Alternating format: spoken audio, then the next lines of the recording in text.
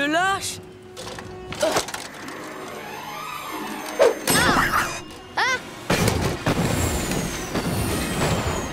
Euh, C'est normal que ça fasse ça Vite, réfléchis.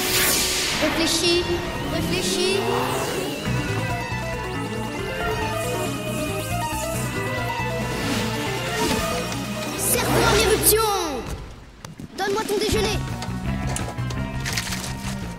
Merci mon beau.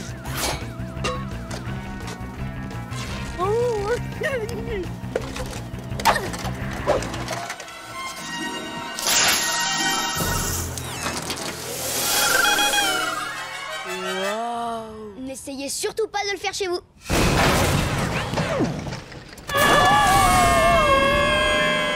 Il faut enclencher les stabilisateurs. Il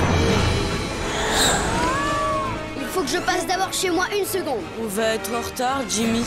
Je voudrais arriver à l'heure à l'école. De toute façon. D'accord, faut compris. Non, c'est pas.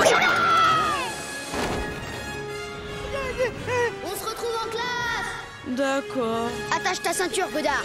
On va être drôlement secoué. Ah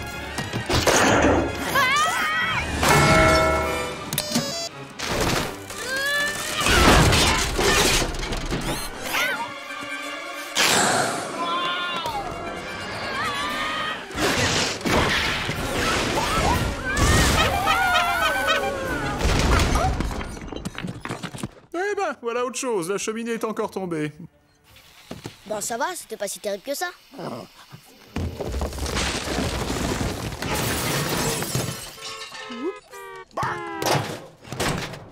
James, Isaac, Neutron Je te vois là-haut.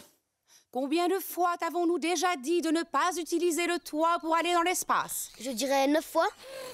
C'est bien ça, neuf. Il paraît que la répétition, c'est excellent pour les neurones. Alors peux-tu m'expliquer ce que tu fais? Eh ben, hier soir, j'ai reçu un message venu de l'espace, mais il s'est un peu brouillé dans la ionosphère. Alors, j'ai dû lancer un grippin de communication. Enfin, un satellite. Et après, Ça quand alors j'ai Un message venu de l'espace, waouh Hugues, je t'en prie, ne l'encourage pas. Jimmy, nous t'avons dit et répété de ne jamais parler à des inconnus. Oh, mais maman, je suis pratiquement entrée en contact avec une civilisation extraterrestre super évoluée. Je me fiche de savoir à quel point ils se prétendent évoluer, Jimmy. Si ton père et moi n'avons pas fait leur connaissance, ce sont des étrangers. N'est-ce pas, Hugues? Oui, sauf s'ils sont policiers, eux ils sont là pour t'aider.